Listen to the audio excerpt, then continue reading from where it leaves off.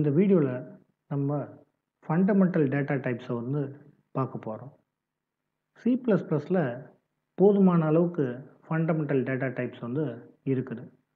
அப்போ இந்த டைப் வந்து என்ன சொல்லுதுன்னா நம்ம வேல்யூவை ப்ராசஸ் பண்ண போகிறோம் ப்ரோக்ராமில் அப்போ வேல்யூவை ரீட் பண்ணி நம்ம ஸ்டோர் பண்ணி தான் ப்ராசஸ் பண்ண போகிறோம் அப்போ அது மாதிரி ஸ்டோர் பண்ணுறதுக்கு ஒரு மெமரி நமக்கு தேவை.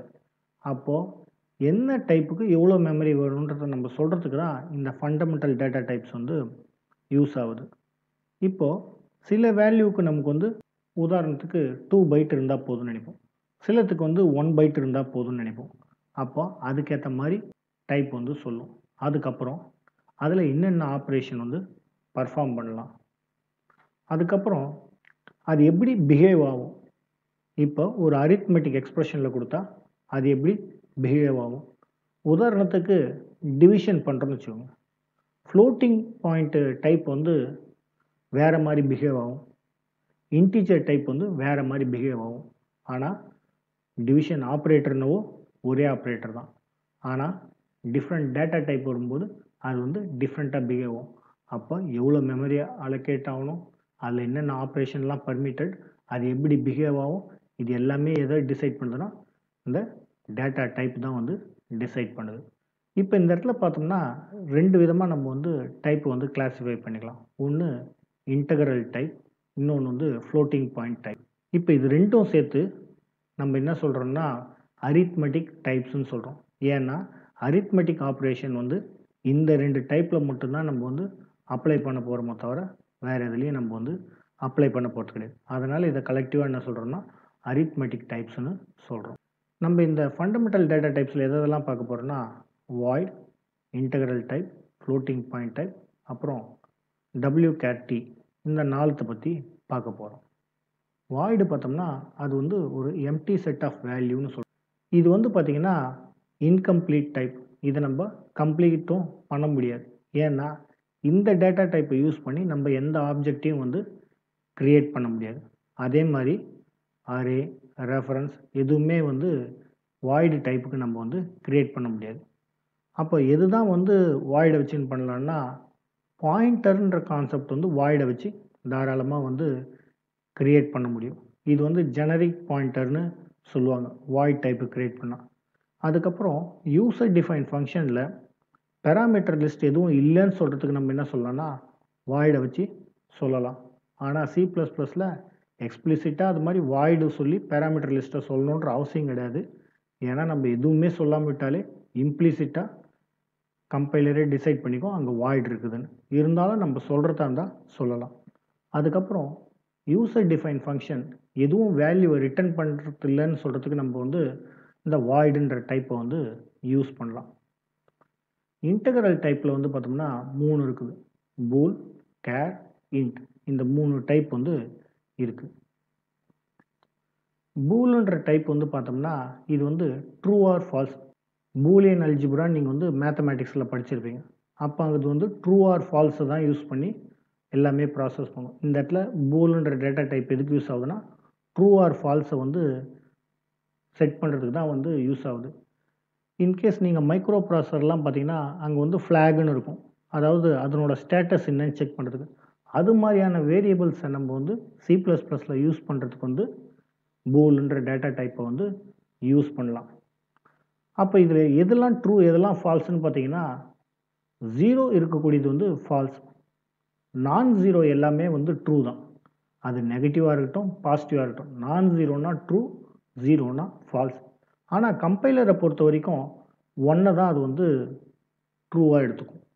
அப்போ நீங்கள் எந்த பாசிட்டிவ் வேல்யூ எந்த நெகட்டிவ் வேல்யூ கொடுத்தாலும் அது வந்து ட்ரூன்னு எடுத்துக்கும். ஜீரோ கொடுத்தீங்கன்னா ஃபால்ஸ்னு எடுத்துக்கும்.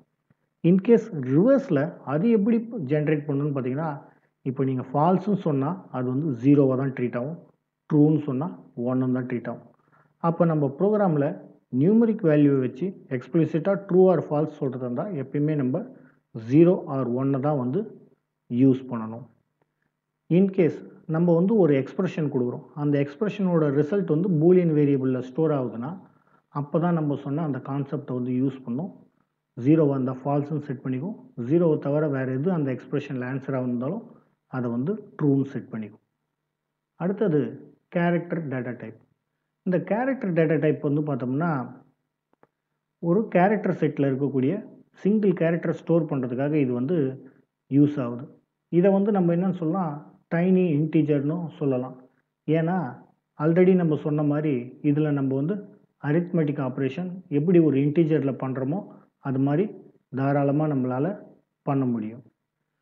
இப்போ கேரக்டரோட சைஸ் வந்து பார்த்தோம்னா ஒன் பைட் அதாவது எயிட் பிட் இந்த காம்பினேஷனில் பார்த்தோம்னா இது வந்து டூ ஃபிஃப்டி சிக்ஸ் டிஃப்ரெண்ட் வேல்யூஸை வந்து நம்மளால் கேரக்டர் டேட்டா டைப்பில் வந்து ஸ்டோர் பண்ண முடியும். ஜென்ரலாக வந்து பார்த்தோம்னா கேரக்டர் செட்டுன்றது வந்து ஐஎஸ்ஓ சிக்ஸ் ஃபார்ட்டி சிக்ஸோட வேரியண்ட் தான். உதாரணத்துக்கு ஆஸ்கி நீங்கள் ஆஸ்கி வேல்யூலாம் பார்த்துருப்பீங்க. அது எல்லாமே வந்து கேரக்டரில் வந்து ஒர்க் ஆகும். அப்போ எப்படி அது ஒர்க் ஆகுதுன்னு பார்த்தோம்னா இப்போ நம்ம கேரக்டர் டேட்டா டைப்பில் அரித்மெட்டிக் ஆப்ரேஷன் பண்ணுறோன்னா எந்த வேல்யூ அந்த கேரக்டரை கன்வெர்ட் பண்ணணும்னு பார்த்தீங்கன்னா ஆஸ்கி வேல்யூக்கு தான் அதை வந்து கன்வெர்ட் பண்ணும். ஆனால் இதில் என்ன ப்ராப்ளம்னா இது இல்லை இதில் என்ன ப்ராப்ளம்னு பார்த்தோம்னா கேரக்டர் செட்டில் இருக்கிற எல்லாமே வந்து ஸ்டாண்டர்டைஸ் பண்ணது கிடையாது. சிலது வந்து ஸ்டாண்டர்டைஸ்டாக இருக்குது சிலது வந்து அன்ஸ்டாண்டர்டைஸ்டாக இருக்குது. நம்ம ப்ரோக்ராமில் எப்பயுமே நம்ம எதை யூஸ் பண்ணணும்னா English character alphabets A to Z வந்து upper case or lower case வந்து யூஸ் பண்ணிக்கலாம். அதுக்கப்புறம் சில பேசிக் பங்க்சுவேஷன் கேரக்டர்ஸ் மட்டும் யூஸ் பண்ணிக்கலாம்.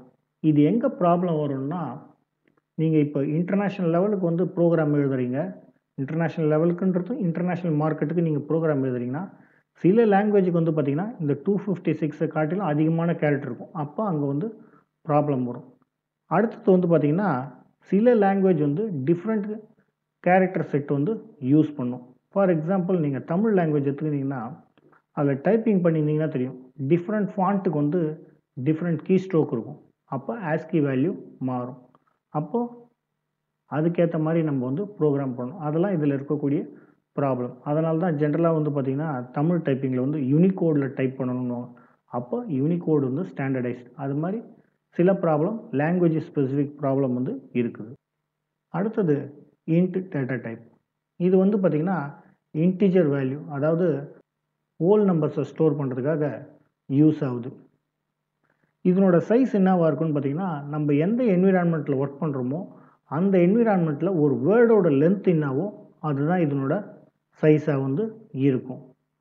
இது எந்த ரேஞ்ச் வரைக்கும் வேல்யூவை ஸ்டோர் பண்ணணும்னு பார்த்தோம்னா எந்த இடத்துல நம்ம ஒர்க் பண்ணுறோமோ அதை பேஸ் பண்ணி தான் இதனோட ரேஞ்ச் இருக்கும். உதாரணத்துக்கு நீங்கள் தாஸ் ப்ராம்ப்டில் யூஸ் பண்ணுறீங்கன்னா அது வந்து சிக்ஸ்டீன் பிட் என்விரான்மெண்ட் அப்போ என்ன இருக்கும்? இன்டிஜரோட சைஸ் வந்து சிக்ஸ்டீன் பிட்ஸ் தான் இருக்கும். அதாவது டூ பைட் தான் இருக்கும். இதே நீங்கள் வந்து தேர்ட்டி டூ பிட் என்விரான்மெண்ட்டில் யூஸ் பண்ணுறீங்கன்னா அங்கே என்ன இருக்கும்? தேர்ட்டி டூ பிட் அப்போ இது என்னவாக இருக்கும்? ஃபோர் பைட்டாக இருக்கும். அப்போ டபுள் த சைஸ் வந்து இன்டீஜருக்கு இன்க்ரீஸ் ஆகுது. ஏன்னா பேஸ்ட் அப்பான் என்விரான்மெண்ட் ஆனால் இதை பேஸ் பண்ணி நம்ம வந்து ப்ரோக்ராம் எழுதக்கூடாது. ஜென்ரலாக நம்ம வந்து சி ப்ளஸ் ப்ளஸில் போர்ட்டபிலிட்டின்னு சொல்லுவாங்க. அதாவது ஒரு இடத்துல டெவலப் பண்ண ப்ரோக்ராமை நான் இன்னொரு இடத்துல எடுத்து போய் ரன் பண்ண போகிறேன் ஃபார் எக்ஸாம்பிள் நான் தாஸ் ப்ராம்ப்டில் டெவலப் பண்ணியிருக்கேன். அதை வந்து வேறு ஒரு thirty two bit sixty four bit என்விரான்மெண்ட்டில் எடுத்து போய் ரன் பண்ண போகிறோன்னா அப்போ போர்ட்டபிலிட்டி இஷ்யூ வராமல் இருக்கணும்னா நம்ம ப்ரிசைஸாக சைஸ் என்னன்றதை சொல்லி அதுக்கேற்ற மாதிரி ப்ரோக்ராம் டெவலப் பண்ணோம்னா தான் போர்ட் பண்ணும்போது எந்த ப்ராப்ளமும் இல்லாமல் நம்மளோட ப்ரோக்ராம் வந்து கரெக்டாக ஒர்க் ஆகும். அடுத்தது floating point type floating point டைப்புன்றது வந்து பார்த்தோம்னா நமக்கு ரியல் நம்பர்ஸை ஸ்டோர் பண்ணுறதுக்காக யூஸ் பண்ணுறோம் இந்த ஃப்ளோட்டிங் பாயிண்ட் டைப்பில் ரெண்டு இருக்குது. ஒன்று வந்து ஃப்ளோட் இன்னொன்று வந்து டபுள் பொதுவாக வந்து இம்ப்ளிமெண்ட் பண்ணுறதுக்கு வந்து சிக்ஸ் டிஜிட் சிக்னிஃபிகண்ட் வந்து இருக்கணும். டெசிமல் டிஜிட்டுக்கு ஃப்ளோட்டாக இருந்தால் இன்கேஸ் டபுளாக இருந்தால் அது வந்து டென் டிஜிட் வரைக்கும் டெசிமல் டிஜிட்டுக்கு வந்து இருக்கணும். இப்போ நம்ம இந்த ஃப்ளோட்டிங் பாயிண்ட் டைப்பில் இருக்கக்கூடிய ஃப்ளோட் அண்ட் டபுள் இது ரெண்டுத்தையும் பார்க்கலாம். ஃப்ளோட் டேட்டா டைப்புன்றது வந்து பார்த்தோம்னா சிங்கிள் ப்ரொசிஷன் வேல்யூவை ஸ்டோர் பண்ணுறதுக்காக யூஸ் ஆகுது. ஃப்ளோட்டிங் வேல்யூவில் இருக்கக்கூடிய ரெண்டு டைப் ஒன்று ஃப்ளோட்டு இன்னொன்று டபுள் அது ரெண்டுத்தில் எது ஸ்மாலஸ்ட்டுன்னு பார்த்தோம்னா ஃப்ளோட்டு தான் வந்து ஸ்மாலஸ்ட் இதனோட ஃபார்மேட் எப்படி இருக்குன்னு பார்த்தோம்னா அது வந்து பேஸ்ட் அப்பான் த இம்ப்ளிமெண்டேஷன் இப்போ நம்ம ஃப்ளோட்டிங் வேல்யூவை ஜென்ரலாக வந்து for example twelve point three ஃபோர்னு எழுதலாம். இல்லை எக்ஸ்போனண்ட் அண்ட் மேண்டிஸாவை யூஸ் பண்ணி எழுதலாம். அப்போ எதை பேஸ் பண்ணி நம்ம இம்ப்ளிமெண்ட் பண்ணிக்கிறோமோ அதுக்கேற்ற மாதிரி தான் அது வந்து ப்ராசஸ் ஆகும். நம்ம எதுவுமே சொல்லாமல் விட்டுட்டோம்னா ஜென்ரலாக அது வந்து எக்ஸ்போனண்ட் அண்ட் மேண்டிசால் தான் எடுத்துக்கும் இது வந்து எந்த என்விரான்மெண்ட்டில் நம்ம யூஸ் பண்ணுறோமோ அதை பேஸ் பண்ணி தான் வந்து டிஃபைன் ஆகும். அடுத்தது டபுள் டேட்டா டைப் இது வந்து பார்த்திங்கன்னா டபுள் ப்ரிசிஷன் வேல்யூக்காக யூஸ் ஆகுது. இது வந்து பார்த்திங்கன்னா மெமரி வந்து ஃப்ளோட்டுக்கு ஈக்குவலாகவோ இல்லை ஃப்ளோட்டோட அதிகமாக தான் வந்து இதுக்கு அலோகேட் ஆகும்.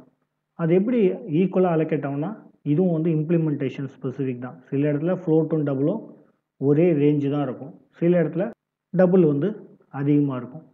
பட் தியரிட்டிக்கலாக நம்ம சொல்கிறது வந்து ஃப்ளோட்டோட டபுள் வந்து பெரிய ரேஞ்சு தான் ஸ்டோர் பண்ணுன்றது. இந்த இடத்துல நம்ம ஃப்ளோட்டுக்கு சொன்ன மாதிரி தான். டபுளும் வந்து எப்படி நம்ம இம்ப்ளிமெண்ட் பண்ணுறோமோ அதை பேஸ் பண்ணி தான் அது வந்து ஒர்க்கிங் இருக்கும். ஆனால் நம்ம டபுளை யூஸ் பண்ணும்போது ஃப்ளோட்டை காட்டிலும் நமக்கு அதிக அக்யூரசி கிடைக்கும். அப்போது நம்ம ஹை அக்யூரசி வேல்யூ வேணும்னா டபுளை யூஸ் பண்ணலாம். ஃப்ளோட்டை அவாய்ட் பண்ணிட்டு.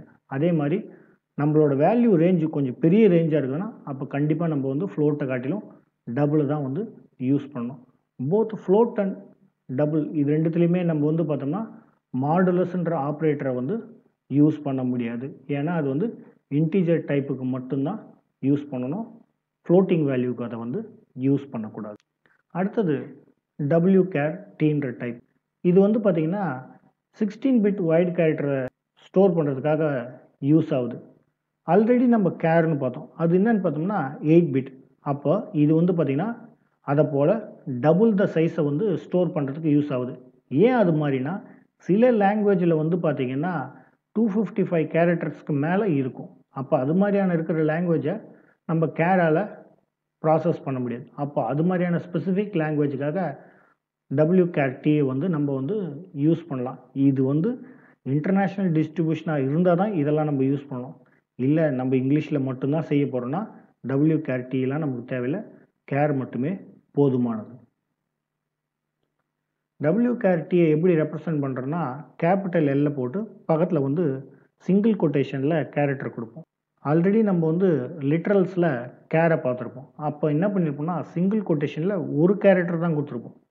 இங்கே டபுள் த சைஸ் ஆனதால் நம்மளால் என்ன கொடுக்க முடியுதுன்னா சிங்கிள் கொட்டேஷனில் ரெண்டு கேரக்டர் கொடுத்து பக்கத்தில் கேபிட்டல் எல்ல சொல்கிறோம் அப்போ இது என்னன்றதுக்குன்னா டபிள்யூ கேர் டி டைப்பில் இருக்கக்கூடிய கேரக்டராக வந்து அசியூம் பண்ணி இப்போ இந்த டேபிளில் நம்ம ஃபஸ்ட் காலமில் என்ன பண்ணுறோம்னா டேட்டா டைப் வந்து பார்க்குறோம். ரெண்டாவது அதனோட பைட்டில் மெமரி சைஸை வந்து கொடுத்துருக்கோம். மூணாவது அதில் ஸ்டோர் பண்ணக்கூடிய ரேஞ்சு எந்த ரேஞ்ச் வரைக்கும் அதில் வேல்யூ ஸ்டோர் பண்ணலான்றது.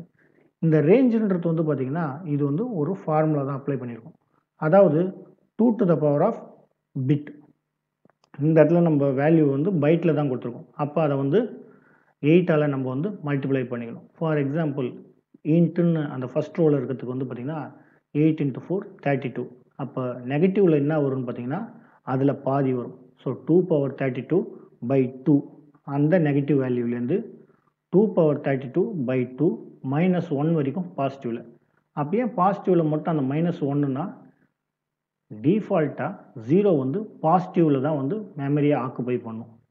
அது ஏன் அப்படின்னா நம்ம நெகட்டிவ் நம்பர்ஸை வந்து ஒன்ஸ் காம்ப்ளிமெண்ட் இல்லைனா two's complement based upon compiler specific அதில் தான் வந்து இம்ப்ளிமெண்ட் பண்ணும். அப்போ அதை பேஸ் பண்ணி செய்யும்போது என்ன ஆகும்னா ஜீரோ வந்து பாசிட்டிவில் தான் இருக்கும். அதனால் எப்பயுமே வந்து நெகட்டிவில் ஒரு நம்பர் அதிகமாகவும் பாசிட்டிவில் ஒரு நம்பர் கம்மியாகவும் தான் இருக்கும். எல்லா ரேஞ்சிலையுமே பார்த்தோம்னா. சிலது மட்டும் வந்து பார்த்திங்கன்னா பாசிட்டிவ் தான் இருக்கும். அது என்னன்னு பார்த்தீங்கன்னா double underscore int eight இந்த டைப்பு மட்டும் பார்த்திங்கன்னா ஜீரோலேருந்து ஆரம்பிச்சிட்டு ஒன்லி பாசிட்டிவ் சைடு இருக்கும். அப்போ அந்த பை டூ இருக்காது. Two power eight minus one மட்டும்தான் இருக்கும். அடுத்தது கேரக்டர் டைப்பில் வந்து பார்த்திங்கன்னா ஜென்ரலாக வந்து நெகட்டிவ் டு பாசிட்டிவ்ன்ற ரேஞ்சில் தான் இருக்கும். இன்கேஸ் நீங்கள் ஸ்லாஷ் ஜேவை யூஸ் பண்ணி கம்பைல் பண்ணும்போது இது வந்து பார்த்திங்கன்னா நீங்கள் தாஸ் ப்ராம்ப்டில் கம்பைல் பண்ணும்போது இதை யூஸ் பண்ணி கம்பைல் பண்ணிங்கன்னா அப்போ என்ன ஒன்றா கேரக்டர் மட்டும் ஜீரோலேருந்து பாசிட்டிவ் சைடு மட்டும்தான் இருக்கும். நெகட்டிவ் சைடில் வந்து இருக்காது.